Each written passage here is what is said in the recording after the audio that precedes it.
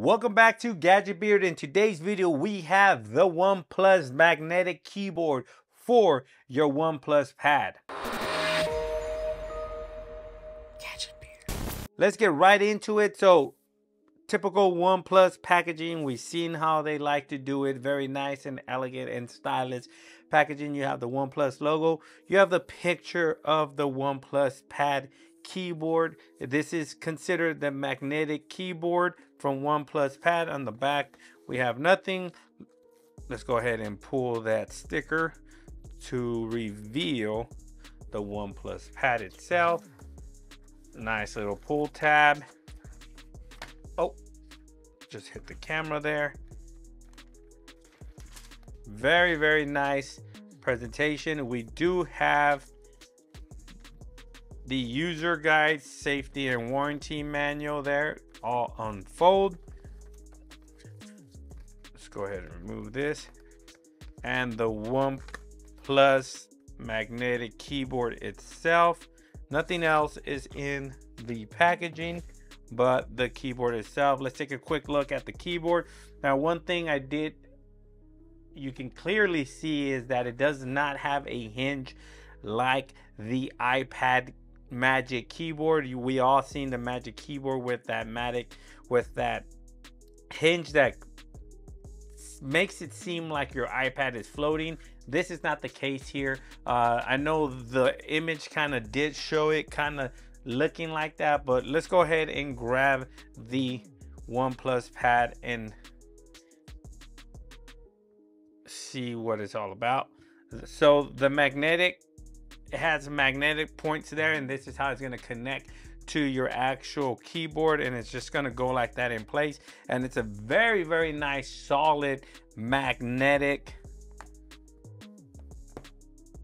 connection there. And it folds like this. Very nice very good looking keyboard there. OnePlus branding there. The cutout for the camera back there is nice and perfect.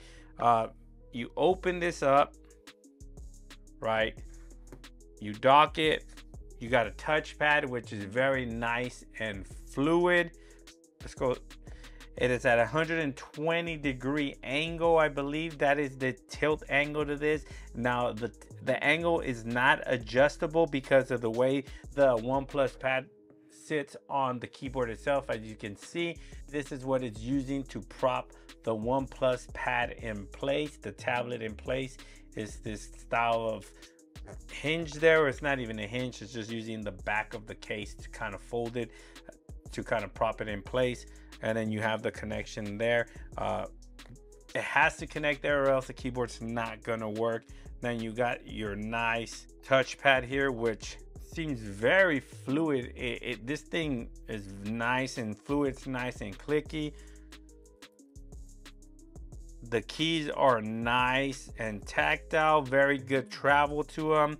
Um, I don't think they're backlit, uh, but they absolutely look very, very nice. Now, do you have to charge the keyboard? I don't think you charge the keyboard. I think it charges through the pad itself so it automatically charges the keyboard through the docking pins but this thing looks absolutely fantastic now i don't know why it's showing that keyboard there when I have an actual keyboard.